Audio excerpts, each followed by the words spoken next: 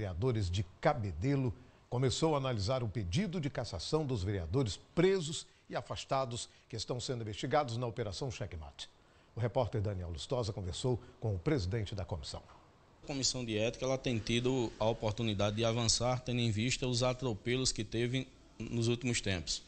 A gente teve a primeira que houve em quatro renúncias o conselho, depois a gente refez o conselho e tivemos depois do, da segunda vez um dos membros do conselho foi afastado e agora, pela terceira vez, refazendo o conselho, a gente já conseguiu avançar muito, começando as oitivas, que foi hoje. Hoje a gente escutou a defesa e as testemunhas do vereador Tess Dornelas e também, agora à tarde, o, o vereador Lúcio José, sua defesa e suas testemunhas. Outras pessoas ainda serão ouvidas? Com certeza, com certeza.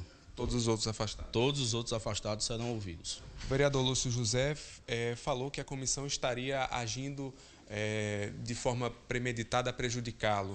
O que é que o senhor pode dizer em relação a essa afirmação? Bem, é, acredito que é o que todos eles irão falar, até porque talvez estejam preocupados em. São quase dois anos que estão em casa recebendo sem fazer suas atividades.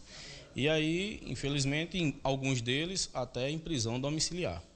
Mas a comissão aqui ela não está é, julgando os méritos.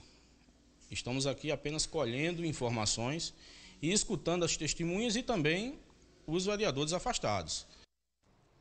Ainda falando sobre os nossos políticos, foram mais de 10 horas de sessão na Câmara de Vereadores de Bahia para analisar o pedido de cassação do prefeito Berg Lima.